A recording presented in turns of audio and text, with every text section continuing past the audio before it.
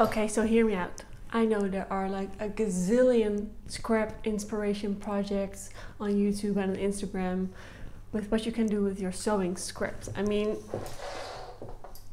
we have so many, and this is just one of many, many boxes. This is just my result from sewing yesterday. I never really got rid of my scrap stash. And that's annoying because it's a lot of fabric, it's worth something, and I didn't just really just didn't know what to do with them. But then I saw this really cool thing on Instagram. It's the scrap bag. So it's scraps cut up very finely, sandwiched between two layers of organza or tulle or any other see-through fabric, then quilted into rows or squares and then made into a bag. In my case, a very big bag. uh, but you could also make a makeup bag or a purse or whatever.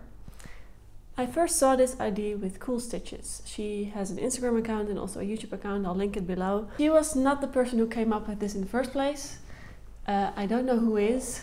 Um, so if you know, please let me know because I'll uh, down below because then I'll, I'll tag the proper person. Now, in this video, I'm not going to go into the into the details of making a beach bag, but I am going to go into all the trial and errors I had with making the quilted fabric. So cutting up the scraps, squeezing them between the very slippery organza. Of course, I didn't have organza or tulle lying around in my stash, so I went online and I thrifted some on a digital thrift shop. And so that was I was good to go. So I have my scraps, I have my scissors, I have my rotary knife, which is very important, and I have my organza and my sewing machine. Let's make this thing.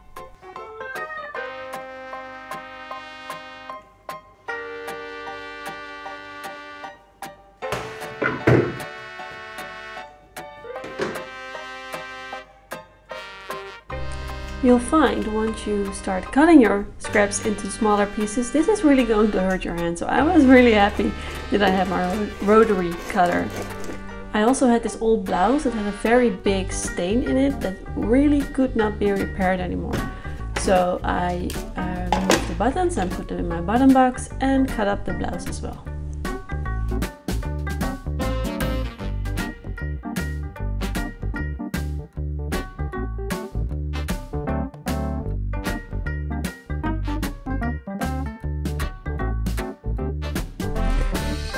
Was getting a little bit uncomfortable in my dress, so I decided to change into this really cool pajama set that I made recently. I mean, isn't it amazing?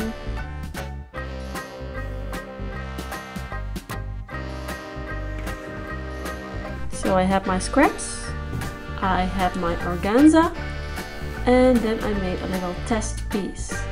So just not to dive in completely unprepared and make a huge bag without uh, actually knowing if it's going to work.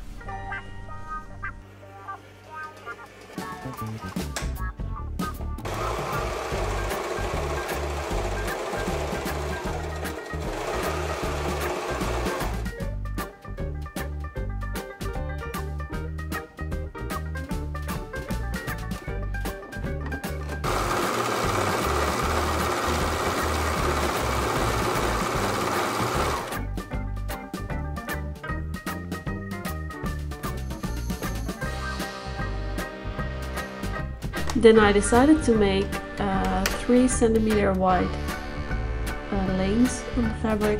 I used a ruler to mark it on my sewing machine.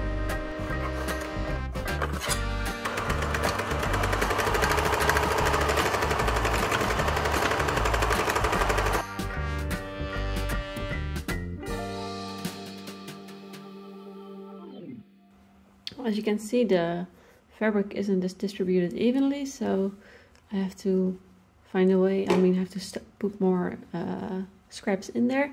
And the squares are a little bit uneven uh, so I have to find a way to make those more aligned except the organza is very shifty on the sewing machine.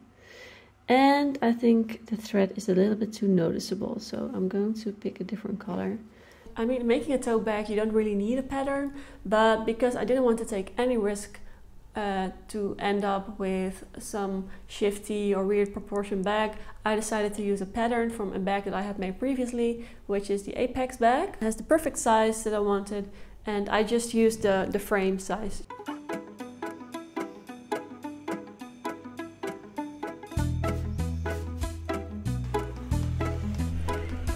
Turns out cutting organza either with a knife or scissors, it's nasty. So this is completely uneven and not usable. I decided to change to ripping it apart.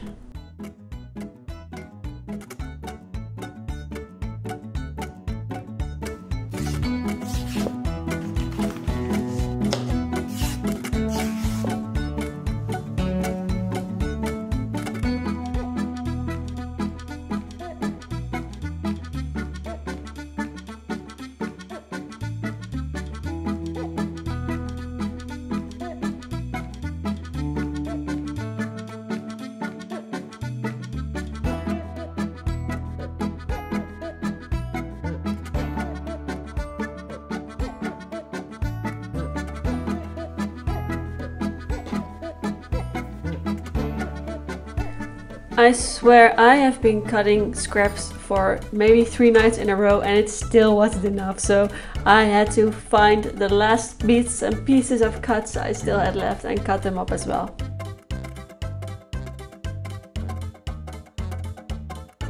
The fun part for me about this project is that it's kind of like archaeology for me.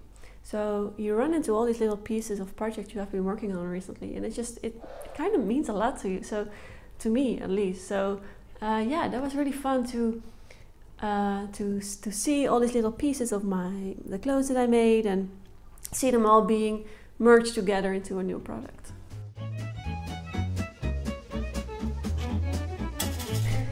So now it's time to stitch. I marked 5 centimeter wide strokes on the fabric. I did it with a marker and then pinned it in place because the fabric would move everywhere as soon as you put it under a sewing machine. So just to keep it in place, just a little tiny bit, I used pins.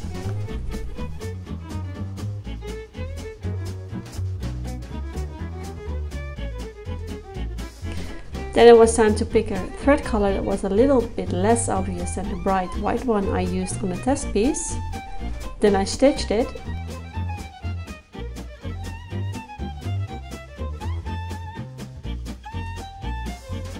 I came to peace with the fact that none of the lines was straight at all and I was actually pretty happy with the result. And then I did it all again.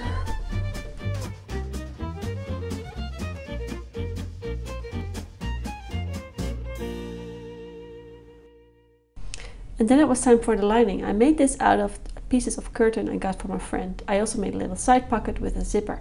I am not going to explain into detail how I did this. I think there are plenty of other tutorials online if you're looking for information on that.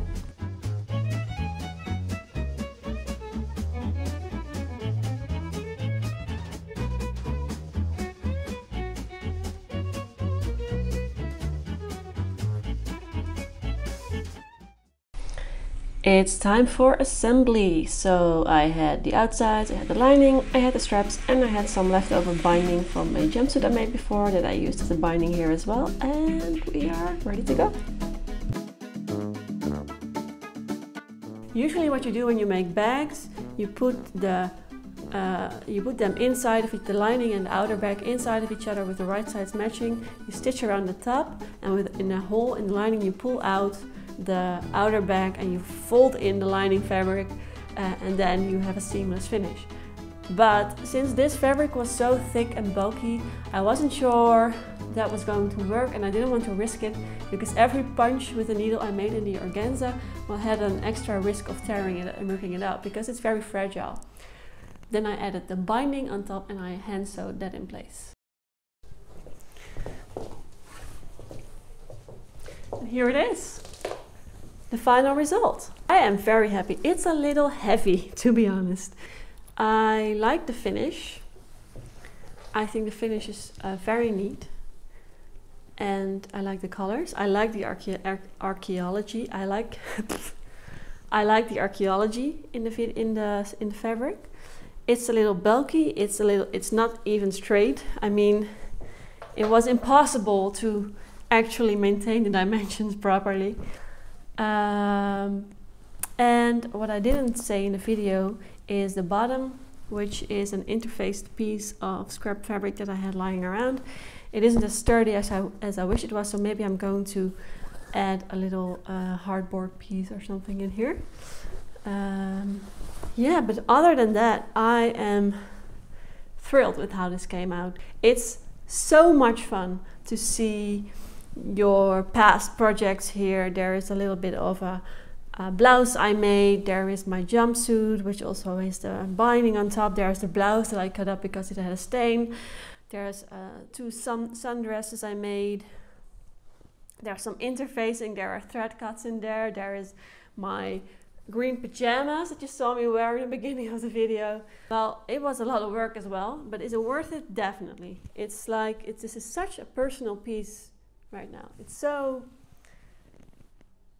you are the only one who knows where all this fabric came from. And I think it's really cool that I can just carry this with me to the supermarket and or to the beach or whatever. So yeah, I am thrilled with this. Maybe I think doing this with tulle instead of organza would be a little easier because the organza is very slippery and the lines aren't straight because that was just simply impossible. But other than that, do this. It's amazing. It's so much fun and nobody, literally nobody has a bag like this. Excellent scrap buster.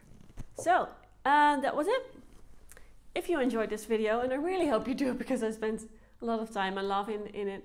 Um, yeah, like and subscribe. I guess that's what they say. I hope to make more videos soon. Uh, my channel is going to be very focused on sustainable sewing and recycling and upcycling. I think this was a good start to that. Uh, you can stay here for tips on how to thrift fabric. You can stay here for uh, inspiration for what to do with your scraps. And yeah, other things that pop into my mind. So um, thank you so much for watching um, and I'll see you next time. Happy sewing!